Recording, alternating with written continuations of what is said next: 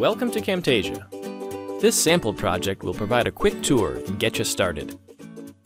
If you're looking for more in-depth tutorials that will walk you through the entire process of recording, editing, and sharing your videos, check out the video tutorials on our website. Right now, you're in the Camtasia editor. The editor is made up of the timeline, where you can arrange and edit your clips, the canvas, which is your video preview, and the tools panel, where your media is stored along with shapes, animations, effects, and more.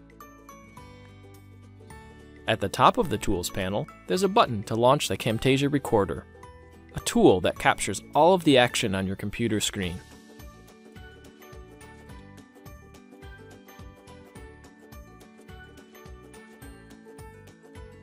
When you're done recording, each clip will be placed in your media bin and on your timeline.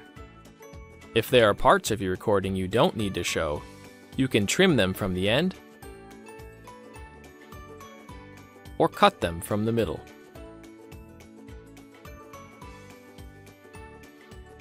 If you'd like to add other media, titles, or effects, drag them from the Tools panel to the timeline.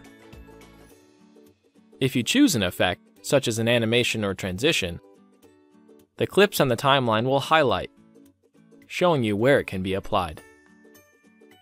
While you're working on your project, use the canvas to position your media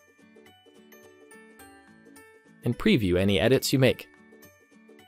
You can use the Properties panel to fine-tune your media and effects, such as positioning an object to an exact location, rotating an object, or even changing its scale and opacity.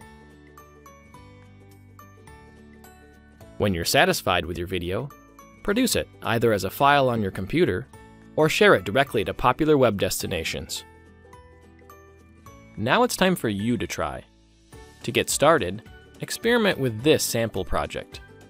Try deleting or adding clips to the timeline, or maybe add a transition or effect to something that's already there. You can always open a fresh copy of this project from the Help menu. When you're comfortable, start a new project to create your very own video. If you're looking to do more with your project, like adding animations, quizzes, or even importing your own video, check out the tutorials on our webpage. Thanks for watching.